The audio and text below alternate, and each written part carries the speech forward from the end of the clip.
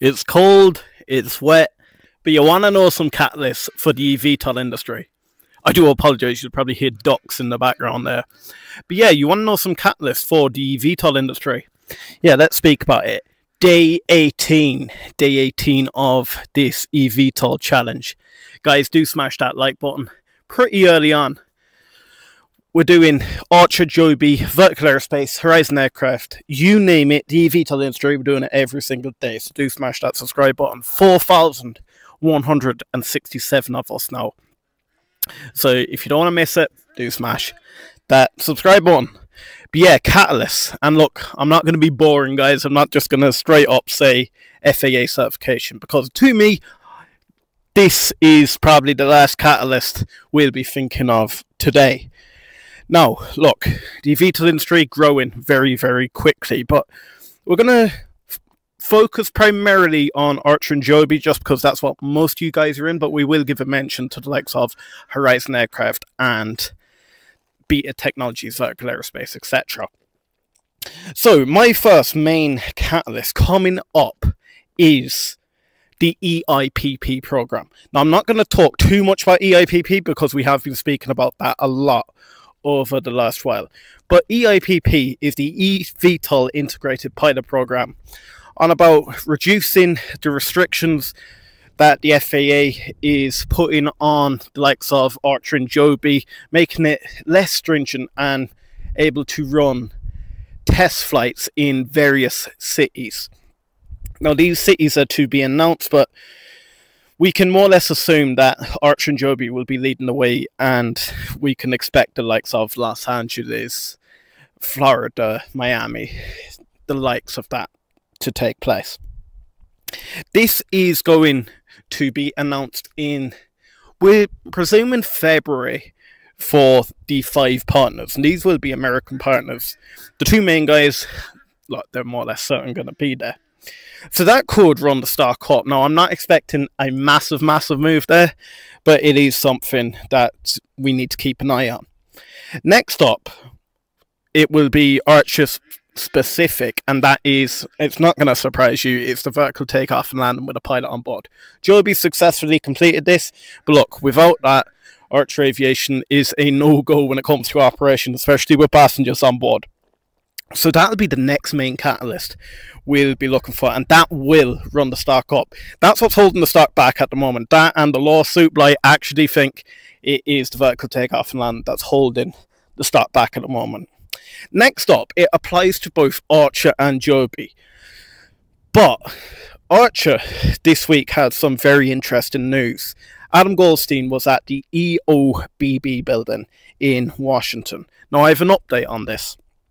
So we said this could be due to military contracts. And when you zoom in, people were saying it's only PR, but when you zoom in on the picture, you can see it's an appointment for the EOBB building. So you don't just get an appointment for no reason there. Now, one of the creators that we do speak with very closely, Nicole Josephine, actually shared this on X last night, and it's one of her trusted colleagues.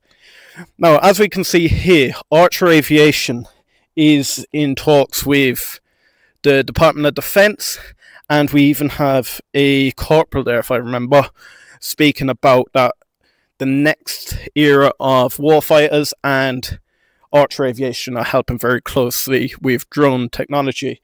Now, we haven't heard anything about this in public information, so that is another catalyst look, is it going to be the likes of the Omen drone? Are we speaking about the Anduril hybrid with Archer? Or is this something completely different? Is the Department of Defense going to create their own drone with a separate company and actually license out Archer's technology? Because we know that's how they do it with the Omen drone.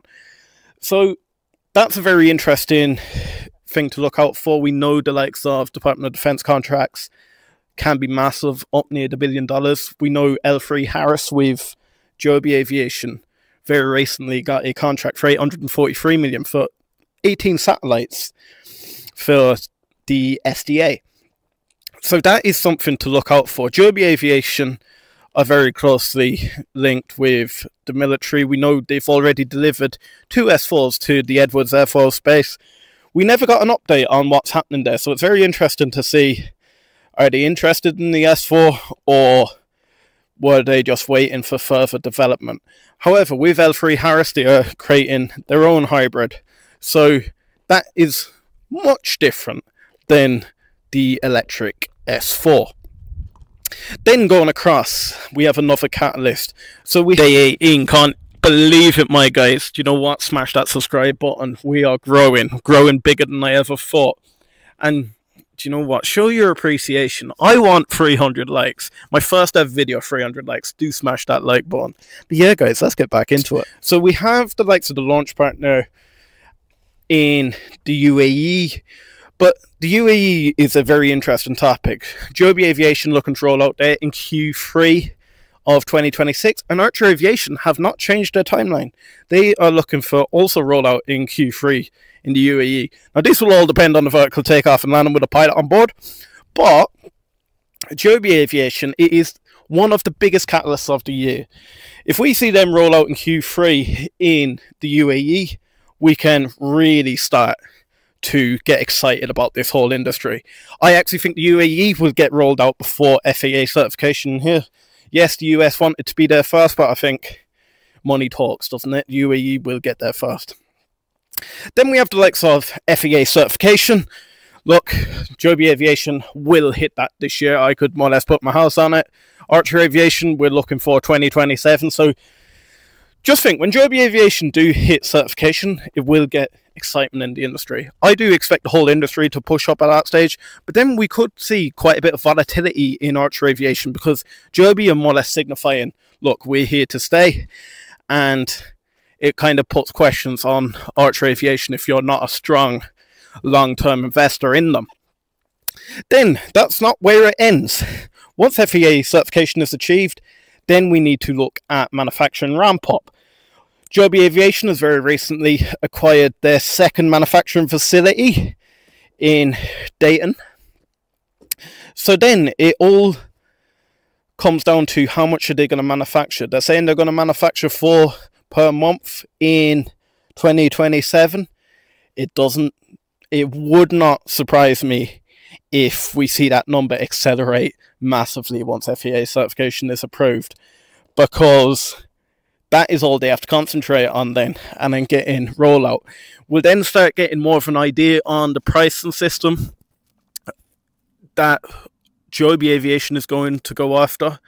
And then Archer Aviation, that's when they really need to push forward then with FAA certification. The longer they leave it, the longer Joby will have that edge on them. Horizon Aircraft, looking at them, we're thinking that, look, we're not going to get any major, major contracts until we start seeing the Cavorite X7 come into the end phase of that prototype build out. What we need to keep an eye on there is just any grants they get. They are quite good at um, acquiring grants from Canada. But really, you're just looking at the development phase of the Cavorite X7. I'm not actually as worried about cash. I think they have 24 million now sitting in the bank. So Horizon aircraft are doing pretty well. Vertical aerospace, we need to sort of just keep an eye on them. They're starting to do their transitions. When it comes to their flight testing, they look actually further ahead than Archer Aviation. But are they going to struggle a little bit because they're a UK based company? Where does the likes of FAA certification fit, or are they just going to maintain UK and Europe at the moment. I'm expecting them to go down more of a cargo route, but then the new Valo aircraft will be more passengers then. Beta Technologies, yes, we just need to keep an eye on how the electric vertical takeoff ALIA is playing out. We know they have their CTOL configuration that's already flying and it is doing bits. They have like their contract with UPS I'm sure I read somewhere they had ties with United Airlines as well for cargo, so I need to dive into them a little bit more. Do let me know if I have missed any catalysts and what catalysts are you most excited about. And then meet me later on for eVTOL Weekly.